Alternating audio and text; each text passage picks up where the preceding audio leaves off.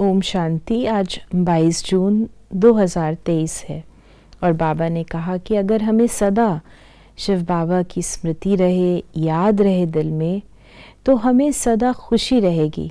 जब हमारी बुद्धि भटक जाती है, बुद्धि योग टूट जाता है तो उदासी आती है और इसीलिए हमें अपना चार्ट रखना है कि हम सदा बाबा की याद में रहें सिमरण करते रहें दिली दिल में।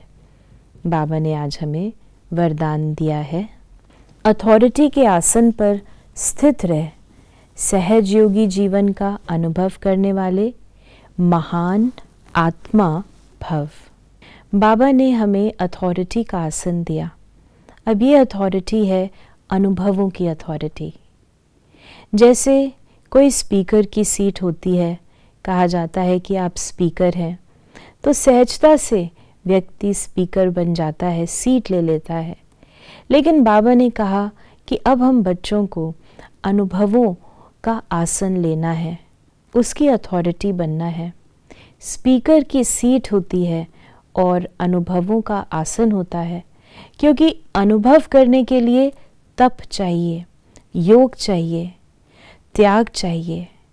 जब हमारा बुद्धि योग एक बाप में होता है व्यर्थ चिंतन नहीं होता, न किसी का प्रभाव होता है।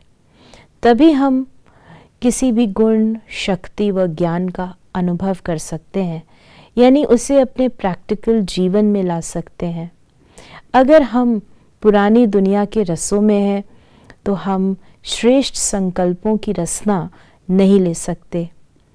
तो जो अनुभव की अथॉरिटी बन जाते हैं अर्थात अनुभव के आसन में बैठते हैं, वो महान आत्माएँ बन जाती हैं।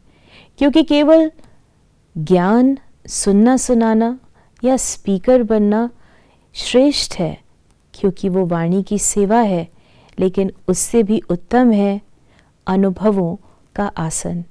जैसे किसी विशेष पोजीशन पर व्यक्ति होता है तो उसके आगे सब झुक जाते हैं। उसे सलाम करते हैं। इसी प्रकार, अगर कोई व्यक्ति अनुभवों के आसन पर है, अर्थात उसे केवल ज्ञान थियोरेटिकल ही नहीं प्रैक्टिकल में अनुभव है तो उसके आगे माया झुकेगी, ना कि वो माया के आगे झुकेगा। और ऐसी ही आत्माएँ, महान आत्माएँ बनती हैं। तो आज हम इस बात का अटेंशन रखें। कि हमें अनुभव के आसन पर टिकना है। ओम शांति।